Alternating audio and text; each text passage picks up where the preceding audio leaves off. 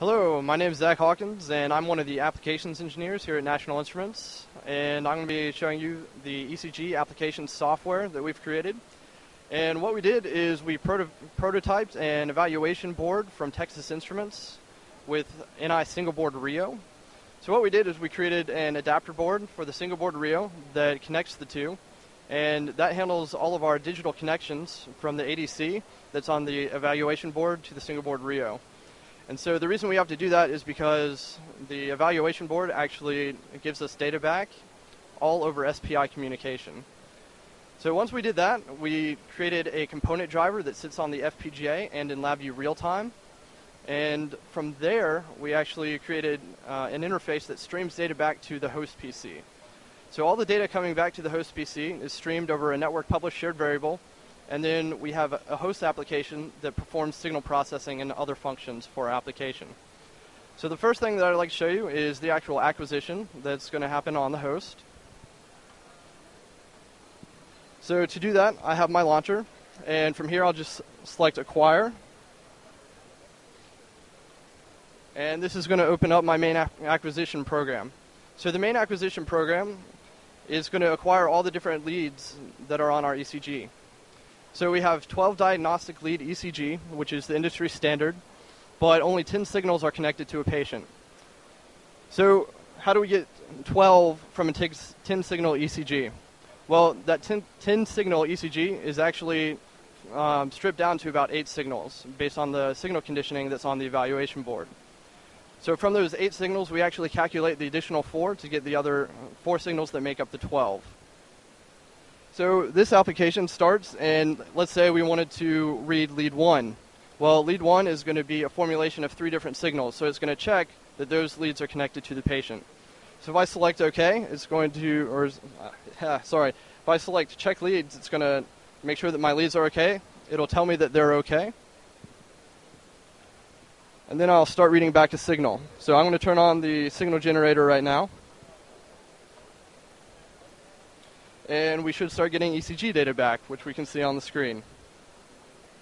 So from our ECG data, it's going to go along and it's going to buffer data for about 15 seconds before it en- enables us to pause.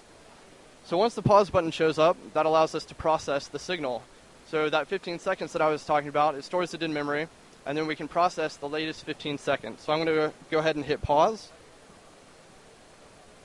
And now my process button comes up. So this is the power of LabVIEW is that we can process these signals in a very effective manner, and we can also make small changes to our processing algorithms on the fly. So I'm going to select process. It's going to come up with a window that lets me select one of my ECG signals. I'm going to start with just lead one since that was one of the ones that I was reading. And it comes up with a window. And this is going to be the wavelet that I'm actually looking for throughout the entire ECG. So I'll click OK and it's going to load that entire signal in. And from there, I'll just go ahead and run the processor. It's going to extract all the different wavelets throughout the signal. So if you actually can see this, as I scroll through the signal, then it's finding all the different wavelets in red. We'll go ahead and exit that, and we'll quit this application. So that same processing algorithm that we saw there is also available for pre-recorded signals if we hit the process button. And I can do that again. We launch our processor, and the screen looks pretty similar. The only difference is now that we have an import button in order to get our pre-recorded signal.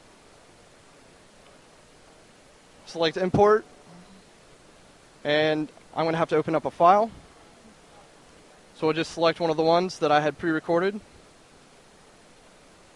Again, it loads it, the same thing. We're just going to select a signal, and it's going to pop up in the window. We'll click OK. And here we go again. We're going to process that. So again, we get all of the different signals throughout the waveform, and we've detected all those different wavelets. All right, and then the last thing that we have is our playback. So if we were recording a signal and we wanted to go and check a certain part of the ECG, maybe we saw some sort of anomaly that we wanted to take a look at, then we have our pre-recorded signal again that will open up, and it'll start playing that recorded signal for us. So here we can either speed it up to find that anomaly that we are looking for, and then let's say we found it, we can slow it back down. So I'll hit quit on that, and that's pretty much it.